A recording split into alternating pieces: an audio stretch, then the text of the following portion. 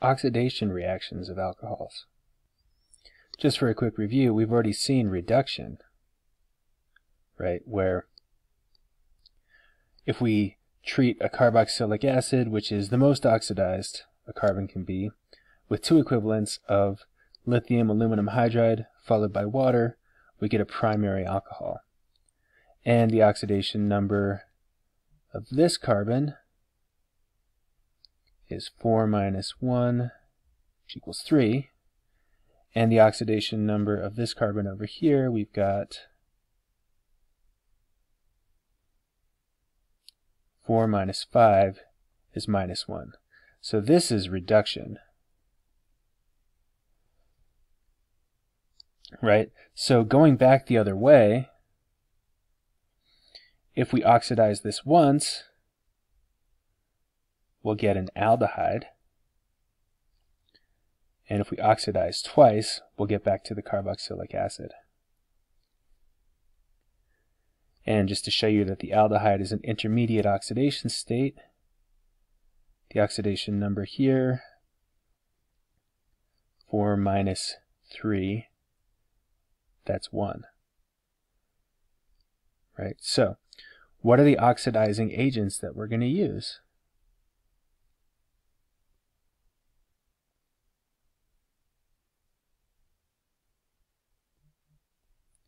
If we start with a primary alcohol, we need a moderately strong oxidizing agent to get to an aldehyde. But to get completely oxidized, to go from an aldehyde to a carboxylic acid, we need something that is really strong. If we've got a secondary alcohol, we can oxidize to a ketone, but we cannot go any further. And that's just because we don't have a second proton at this point to remove. Tertiary alcohols don't have any alpha protons, so we can't oxidize them.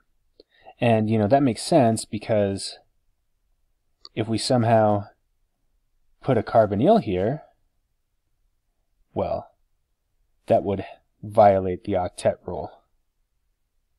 So what we want is chromic acid. Uh, this is the strongest oxidizing agent. Yeah, Jones, Jones reagent, chromic acid, is the only oxidizing agent that can take you all the way to an aldehyde.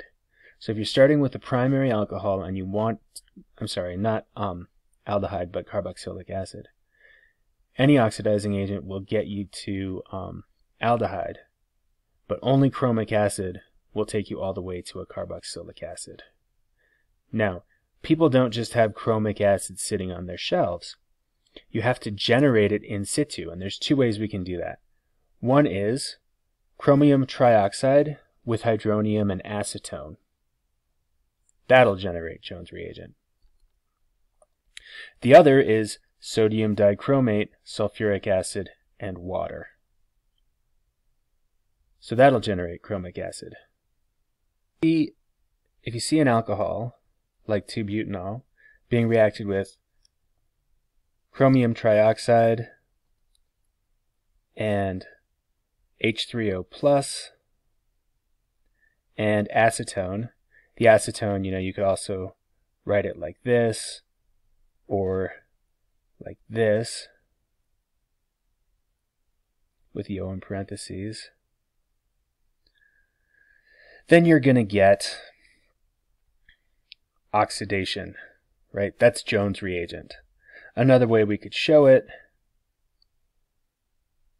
is sodium dichromate, Na2Cr2O7, sulfuric acid, H2SO4, and water.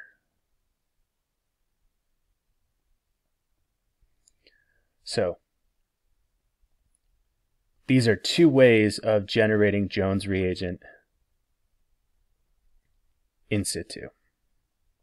The first stage of the reaction mechanism of an alcohol with Jones reagent is proton transfer. The chromic acid donates its proton to the alcohol. So now we've got water, which is a good leaving group, And this bichromate ion can do nucleophilic attack with loss of a leaving group at the alpha carbon. So that SN2 process gives us this chromate ester. And so the generation of the chromate ester is all considered stage one, those two steps, the proton transfer and then SN2. And then stage two, we have water, a weak base, um, essentially doing uh, E2 attack on the chromate ester. It's going to attack that proton there. So here we go. Here's water taking that proton. And that turns into a pi bond. And then we've got loss of a leaving group. Right, so that's E2. And here is the carbonyl that was produced as a result of oxidizing our original alcohol. And we also get this HOCRO2 or HCRO3 minus ion. And uh, I bet that the negative charge sits on the oxygen because I bet we have something like that happening, a pi bond turning into a lone pair. Also, protonating this water gives us a hydronium. So hydronium is another one of our products. And all of this after the formation of the chromate ester. This is stage two, which is slower and not reversible. Jones reagent is strong and not selective, meaning it will oxidize as far as it can oxidize. If you start with a primary alcohol, Jones reagent will take you all the way to a carboxylic acid. So you'd need something that's more selective if you wanted to make an aldehyde. So what would that more selective reagent be?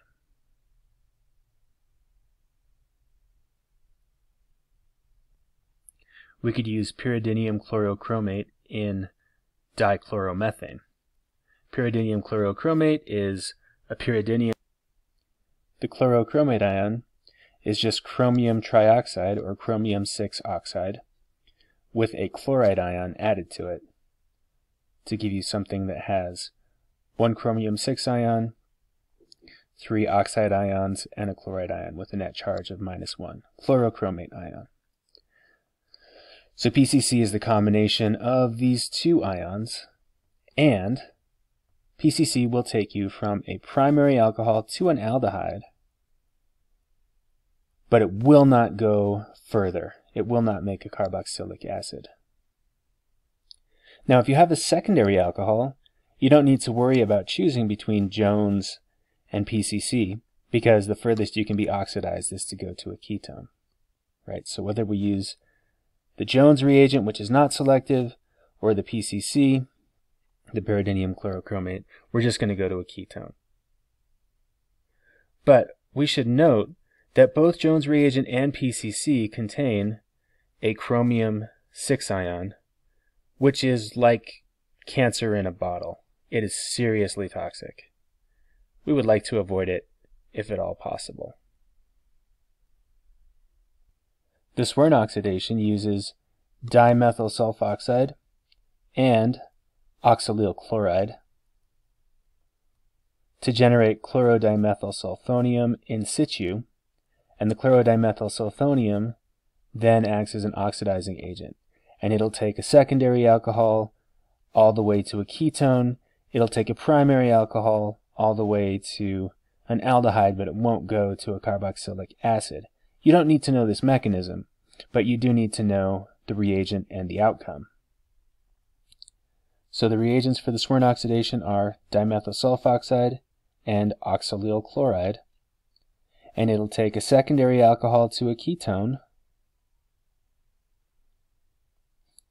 and it'll take a primary alcohol to an aldehyde.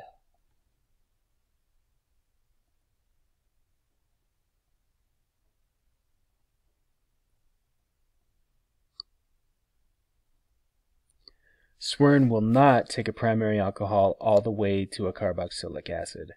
The only oxidizing agent that we can use for that is Jones. There's also the Dess-Martin periodinane. Here's DMP.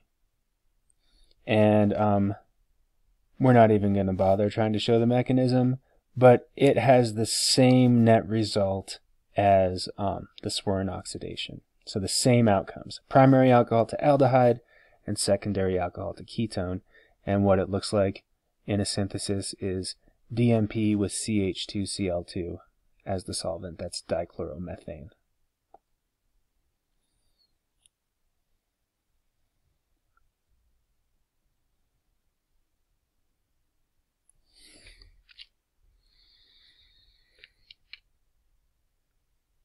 So here's an exercise for you.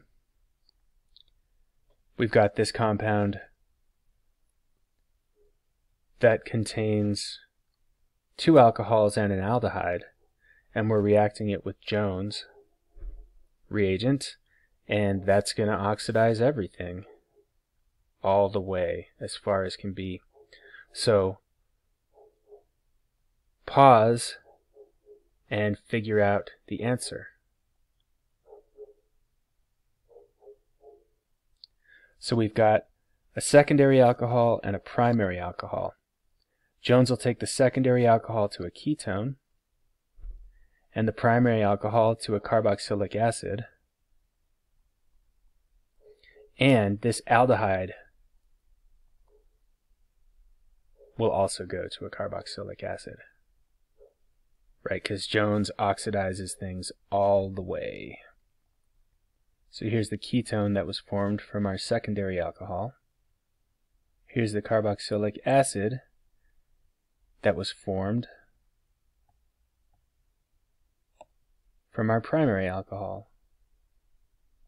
And here is the carboxylic acid that was formed from our aldehyde over here. So now we can go both directions. We can reduce carbonyls and we can oxidize um, alcohols.